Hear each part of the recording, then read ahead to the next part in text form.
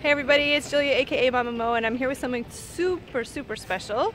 Would you like to tell everybody who you are? Hi, my name is Erica Miller and I'm the tour coordinator for Disney on Ice Presents Frozen. That is so cool you guys. So this is the reason why I wanted to speak with Erica because it's like such a different position and I just wanted to hear a little bit about kind of like what you do. Like it's a really cool job. So, so tell us a little bit about it. So basically what I do is I like to call myself team mom.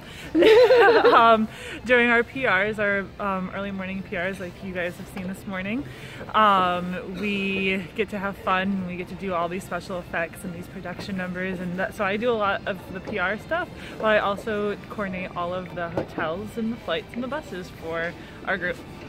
So you basically manage all the people and all the things. It's so cool. Team mom. yeah. And I think I overheard that you were a performer before? I was never a performer for the show, but okay. I was a skater. I grew Very up as a cool. skater and skated for 18 years. That's so cool. And decided that I wasn't quite ready to give up the skating world yet, but... It's another aspect. Yep. That's really cool. So you get to still be in it, but in a different way. Yeah.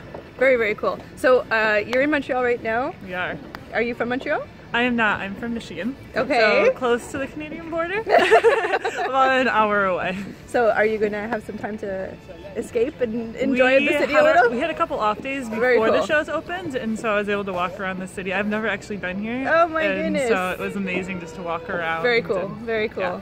And so you're traveling all over. Is there one place that you really enjoy visiting or that you haven't visited and you're going to see? Um, we were actually in Nashville a couple weeks ago okay. and I was really, really excited about yeah. Nashville all the live music and things very, like that. Very nice. But yeah. in a couple weeks uh, from now, we go to Detroit and so it's going to be really special because a lot of my family's coming to see oh, the show so nice. and my parents are coming and They're going to have extra excited. cheers in the audience. Yeah.